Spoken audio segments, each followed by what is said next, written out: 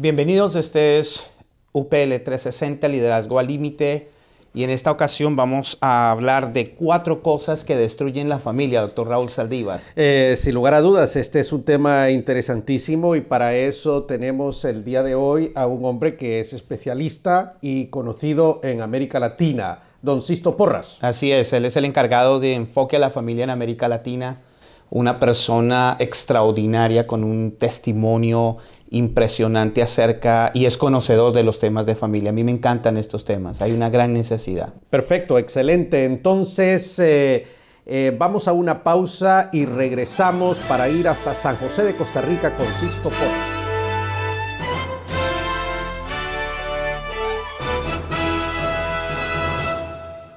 Estudiar para servir al Señor en tu iglesia? Universidad para Líderes te ofrece 8 diplomados diferentes. Escoge el que más te convenga y ponte a estudiar cuanto antes. Para más información visita universidadparalíderes.com o llama al teléfono 904-415-3464. Las tendencias y nuevas tecnologías del mundo demandan un liderazgo efectivo en nuestros ministerios. ¿Estás listo para afrontarlo? Universidad para Líderes ha creado la modalidad que llevará a tu iglesia a un nuevo nivel, tu campus es la plataforma para desarrollar integral y efectivamente la visión que Dios ha puesto en tu ministerio. Fundar un campus UPL en tu iglesia es muy fácil. Ingresa a universidadparalíderes.com, llena el formulario con tus datos y comienza a desarrollar el ministerio como nunca lo creíste posible. ¿Te gustaría conocer las grandes doctrinas de la fe cristiana y hacer un estudio panorámico de ellas? Universidad para Líderes te ofrece el diplomado interactivo en teología sistemática completamente gratis. Regístrate ahora mismo en www.universidadparalíderes.com.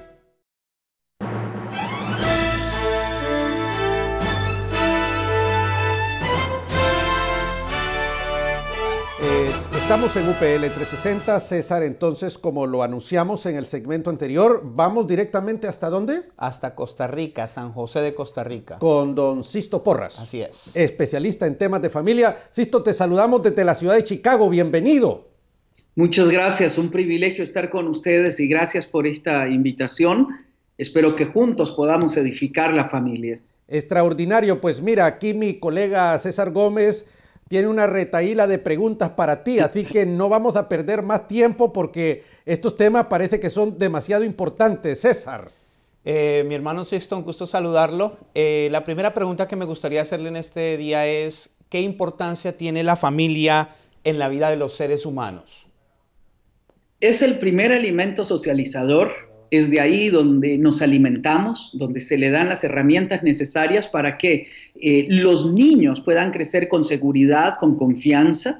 Es donde se le da identidad. Todos llevamos un apellido, es el apellido de nuestro padre y de nuestra madre, lo cual nos da un ligamen con la historia y nos hace ser parte de una historia más grande. Quien no tiene eso tiene un vacío existencial importante. Es en casa donde nos enseñan el valor del trabajo, donde nos enseñan orden, donde nos enseñan a protegernos a nosotros mismos, donde nos dan el valor personal a nosotros mismos y donde nos proveen los valores necesarios para que al crecer podamos nosotros desenvolvernos como personas de bien, como personas seguras, confiadas, donde podamos ser personas que aportamos positivamente a la, a la sociedad. Ahora, por eso, cuando, cuando un padre por A o por B abandona a su mujer o cuando un padre irresponsable eh, se pone a tener hijos por allí o una mujer, entonces este, podemos decir que esa persona no valora lo que es la familia. Creo que definitivamente no es que no solamente no valora, sino que está lastimando la sociedad porque el hecho de que yo valore la familia es una, un, valor importante, crucial.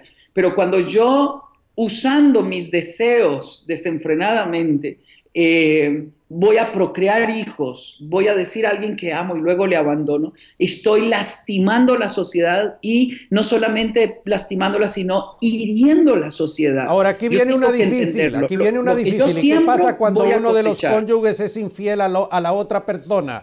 ¿Rompe la familia o no la rompe, mi amigo Sisto? Veamos. Yo, yo sé que es una pregunta difícil, pero bueno, ¿qué me dices?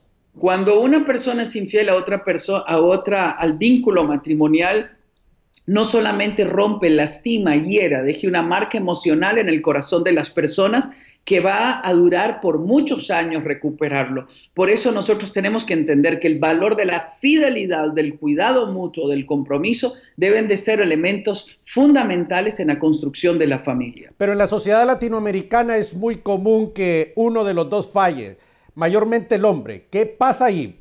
¿Perdona o apuesta por la familia? ¿Qué aconsejas tú en ese caso?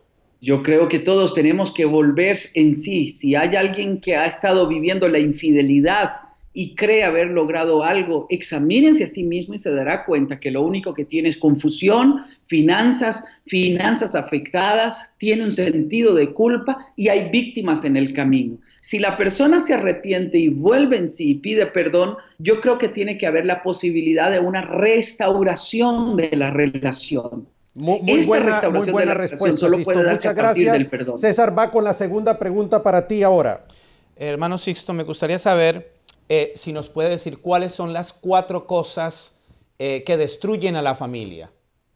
Una de estas es la infidelidad. La infidelidad destruye a la familia grandemente. Esto, esto es una herida profunda, emocional, muy grande. En segundo lugar, la agresión. La agresión es algo que afecta posiblemente a un 70% de las familias. ¿Cuánto, perdón, qué porcentaje? el abuso sexual. Esto, es, esto lastima, hiere profundamente a la familia. El tercer lugar es el abandono. El abandono es una de las heridas más fuertes que experimentan muchos de nuestros hijos. Me prometió que volvería y no volvió. Me, dijo que me llamaría y no me llamó. Pero es mi papá, no entiendo cómo es que se fue y me abandonó. ¿Qué hice yo?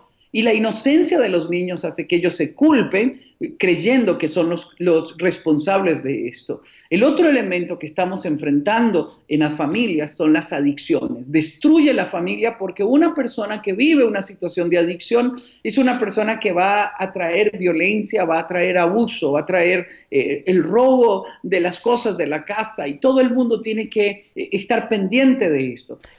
detengámonos, en la, eh, detengámonos un poquito en la número dos, violencia intrafamiliar.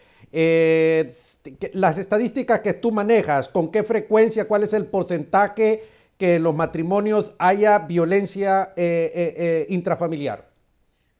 La violencia es mayor a lo que nosotros podemos imaginar. Como lo dije, posiblemente un 70% de las familias están experimentando algún tipo de violencia. Tenemos que definir violencia aquello que media media el abuso, media el control, donde yo tengo temor hacia la otra persona, donde pierdo la capacidad de expresar lo que pienso y lo que siento por causa de las reacciones de la otra persona. Eh, hay violencia patrimonial, hay violencia psicológica y violencia sexual dentro de los, de los matrimonios. Hay que disminuirlo. Eso no puede ser, eso destruye el concepto normal y saludable de la familia. Muy bien, eh, eh, Sisto, tenemos que ir a una pausa. Muchísimas gracias, César. Este es UPL 360, no se vaya, ya regresamos.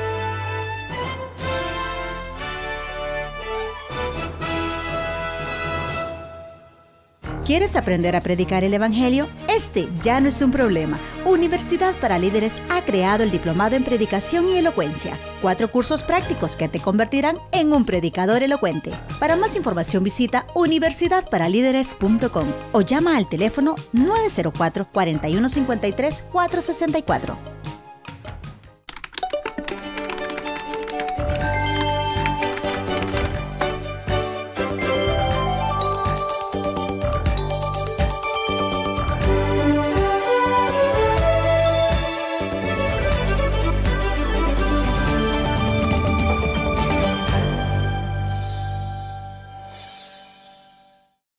4153 464. estudiar para servir al Señor en tu iglesia? Universidad para Líderes te ofrece 8 diplomados diferentes. Escoge el que más te convenga y ponte a estudiar cuanto antes. Para más información visita universidadparalíderes.com o llama al teléfono 904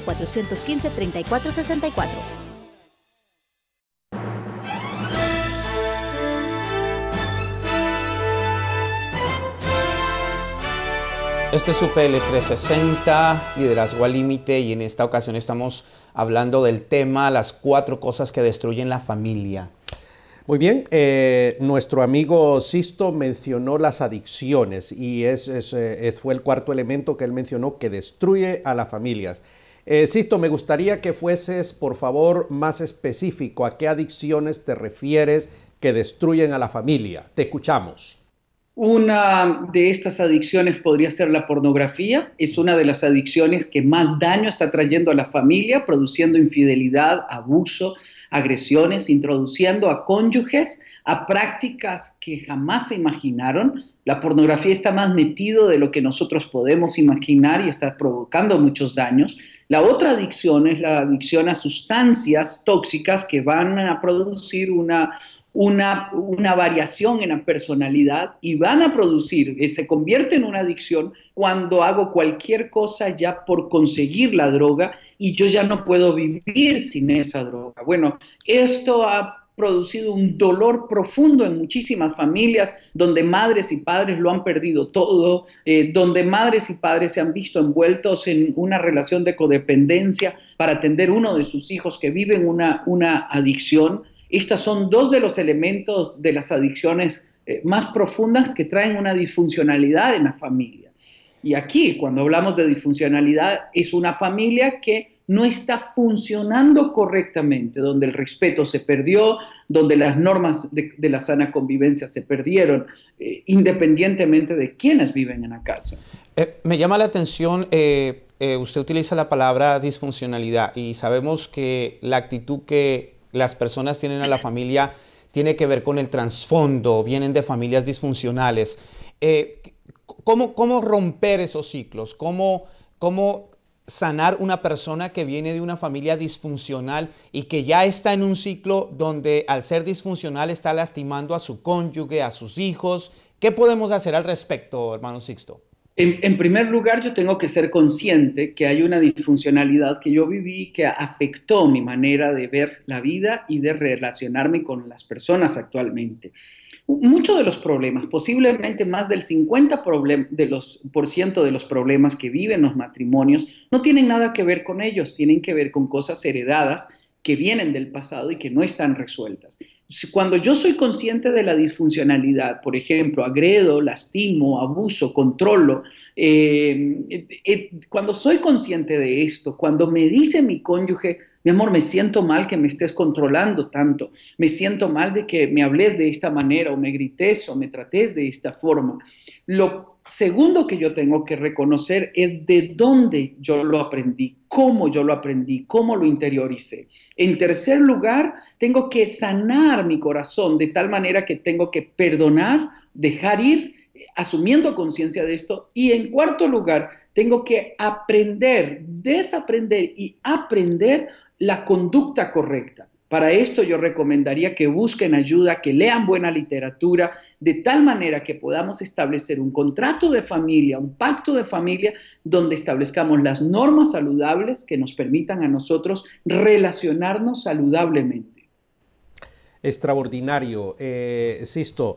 Eh, realmente eh, es correctísimo. Este programa es altamente educativo y mm, no solamente va a ser transmitido por, la televisión, sino que esto lo vamos a poner para que eh, la gente lo mire, allá a nivel individual de iglesia. Yo tengo una pregunta, Sisto, eh, aparece aquí, eh, por ejemplo, en el tema del segundo elemento que tú mencionaste que destruye la familia, que ya lo hablamos, el tema de la agresión, de la, de la violencia intrafamiliar.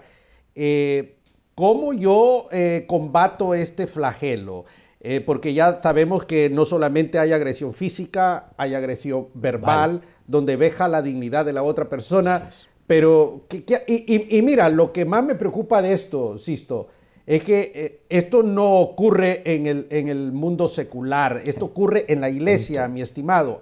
en, dentro de la iglesia tenemos índices de violencia y abuso verbal y físico alarmante cómo una persona eh, va a enfrentar este flagelo. Te escuchamos.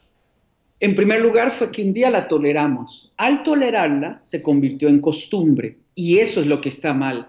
Hemos tenido una mala educación sobre el tema de, la agresión y creemos que debemos de soportarla en nombre del amor y eso es un error, ha sido una mala enseñanza. La agresión no se tolera, la agresión se llama delito, se llama eh, ultraje, se llama violentar los, las normas de la sana convivencia. Por Perdona lo tanto, que te interrumpa antes de que prosiga. Eh, ¿Llama a la policía a la esposa que el marido le pega? ¿Sí o no? Aquí en Estados Unidos puede llamar. pero, ¿qué dices tú, hermano? no se tiene y pone las cosas en su lugar, la otra persona va a creer que eh, tiene el derecho de hacerlo, no solamente tiene el derecho de hacerlo porque tú eres mi esposa o ellos son mis hijos, sino que lo convierte en una costumbre. ¿Quién lo va a detener cuando yo elevo mi dignidad, mi amor propio y pongo un alto al respecto? Si esto no cambia, esta relación tiene que terminar. Sisto, te, te interrumpo, te interrumpo. Sisto, te interrumpo.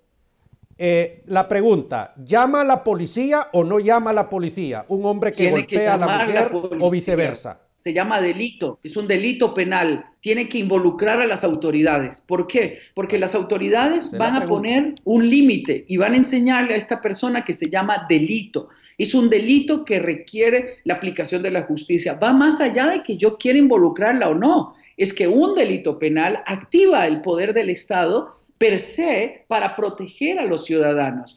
Esto que hace genera temor y genera respeto. Por lo tanto, el agresor asume temor y respeto a la autoridad. Hay una autoridad mayor que la que él ha, creído que tiene y esta autoridad mayor le ayuda, le obliga a buscar ayuda. Es aquí cuando usted va a encontrar al agresor llorando, pidiendo perdón, diciendo lo siento, no sé qué me pasó. Y ahora sí, tienen que aprovechar para establecer un nuevo fundamento. ¿Cuál es? Un proceso educativo, un proceso de ayuda donde puedan establecer una sana convivencia. Yo le aseguro que la otra persona va a procurar cambiar porque no quiere perder lo que también ama. Uno no puede decir que el agresor no ama, ama. Lo que pasa es que tiene un patrón, una conducta que interiorizó como válida, ya sea aprendida en el hogar o aprendida por la cultura donde vive.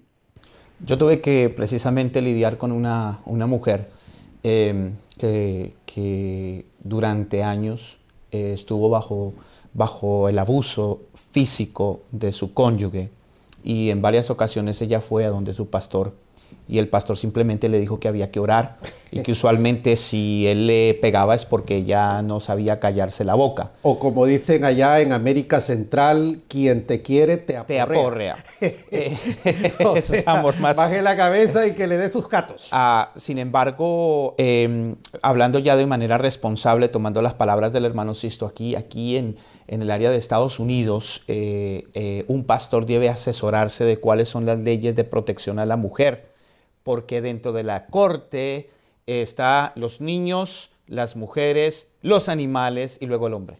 A la vida. Así es. A, ver, repite eso. ¿Cómo es la En una corte para un juez está primeramente los niños, eh, las personas de la tercera edad, la mujer, las personas de la tercera edad, los animales y luego el hombre. Así es, es el orden. Así es el orden. ¿Y tú le dijiste a la señora que llamara al 911? Inmediatamente nosotros la conectamos con una organización para protegerla a ella del agresor. Ok, perfecto. Muy bien, eh, vamos a ir a una pausa. Seguimos con este interesantísimo tema y el especialista en temas de familia, Sisto Porras. No se vaya, quédese con nosotros.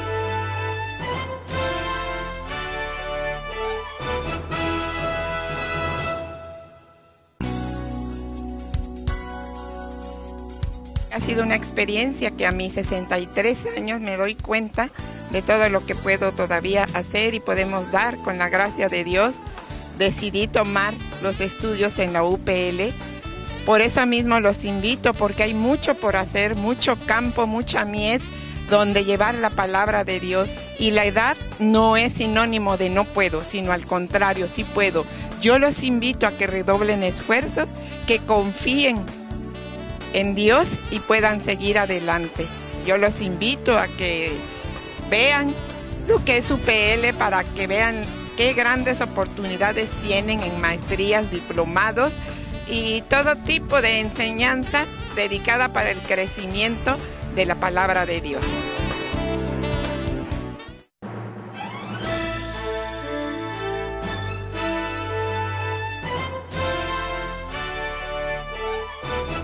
Este es UPL 360, Liderazgo al Límite, y estamos desarrollando un tema extraordinario, doctor Saldívar. Estamos hablando de cuatro cosas que destruyen a la familia. Sisto, tengo una pregunta para ti. Mira, em, ¿qué ocurre cuando, y, esto em, es muy común en América Latina, eh, las mujeres se callan y soportan este tipo de cosas porque ellas dependen económicamente del marido.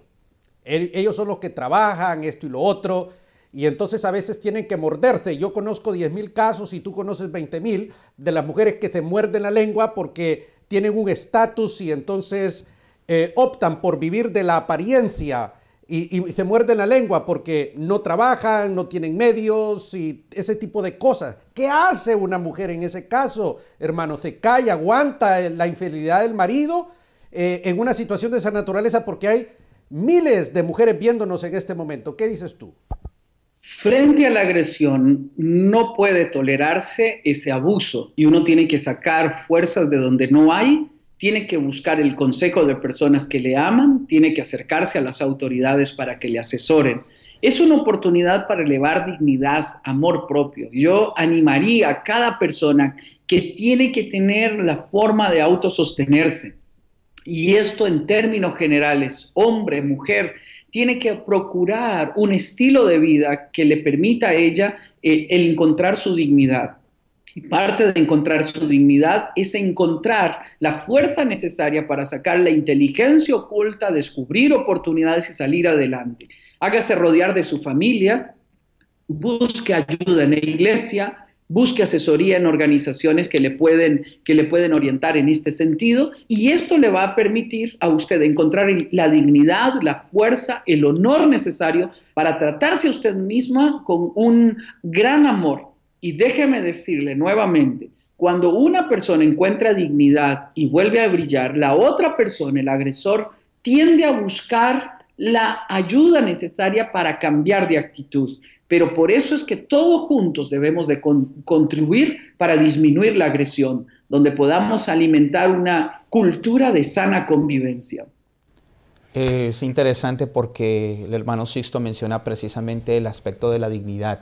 Eh, el agresor eh, usualmente se aprovecha de la baja estima de su cónyuge.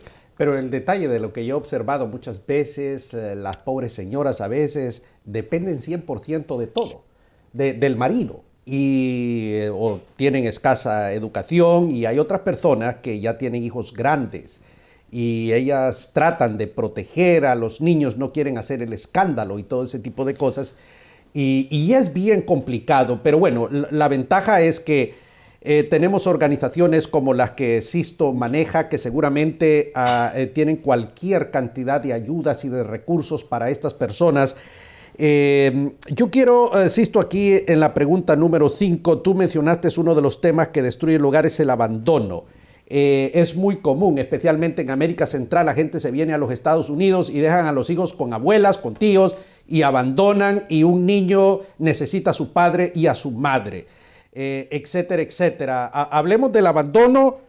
¿Cómo afecta esto al ser humano, Sisto? Te escuchamos. el abandono se da en varias dimensiones. Uno, por el, por el divorcio, eh, donde los padres se divorcian y pierden el contacto con los hijos. Dos, por el elemento migratorio, que bien lo has mencionado. Eh, yo en este caso animo a que cuando uno de los miembros de la familia migra para procurar un sustento económico, establezcan un plan para la reunificación de la familia. cierto. Tiempos específicos donde si no lo logró, vuelva a luchar por su familia. Si usted no lo hace, de repente va a construir otra familia en el país donde está y tiene otra familia en el país de origen. Y esto va a complicar las cosas. Tenga en mente siempre la, la, meta que se había propuesto, que era traer una mejor condición de vida a su familia. Y esto implica mantener un contacto por teléfono, por Skype, por, por, por todos los medios, donde todos los días hablemos, dialoguemos, estemos en contacto y el vínculo se mantenga bien. Si ustedes se divorciaron y se han distanciado, desen la posibilidad de establecer un vínculo de tal manera que los hijos puedan disfrutar al padre y a la madre en forma natural. Nunca los usen como correos para enviar mensajes, para ofender, para lastimar. desen la oportunidad de que no importa lo que haya pasado entre los adultos, el los hijos y las hijas tienen el derecho de tener contacto con su padre y con su madre y tienen todo el derecho de crecer en un ambiente en un ambiente de paz. Tristemente más del 50% de los niños sufren algún tipo de abandono. ¿Por qué? Porque un 50% se divorciaron, eso ya significa un porcentaje de abandono y otro porcentaje por elementos migratorios. Hay un tercer elemento que se da, que es por temas de trabajo el tema del trabajo, donde, por ejemplo, el minero tiene que ir un mes a trabajar, regresa una semana a la casa. Esto significa que una gran lejanía en algunos tipos de trabajo. Mi recomendación es que mantengamos un vínculo donde tengamos comunicación constante. En mi caso, que me corresponde viajar mucho, todos los días llamo a casa y hablo mínimo una hora con los miembros de mi familia. Estoy en contacto, hablamos, tenemos cercanía. Es como si no estuviese ausente porque mantengo un vínculo. Excelente, Sisto. Eh, tenemos, eh, tenemos que terminar el programa. Te agradecemos el habernos acompañado. Muchísimas gracias. Extraordinario el tema de cuatro cosas que destruyen a la familia.